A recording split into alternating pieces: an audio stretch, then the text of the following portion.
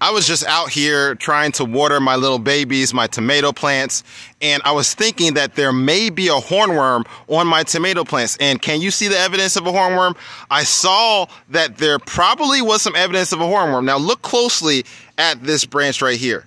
There are no leaves, right? There's no leaves. There's something that's biting off something over here. Look, there's no tomato leaves right there right? And and I look right here, no tomato leaves. I'm like, like this is looking like there probably is a hornworm, and I was trying to find it, and I haven't been spraying my tomato plants with neem oil for a while, but I I went and started spraying this plant today, these plants today, and I want to show you what I found.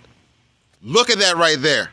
That is a hornworm. I'm to put this so you can see it.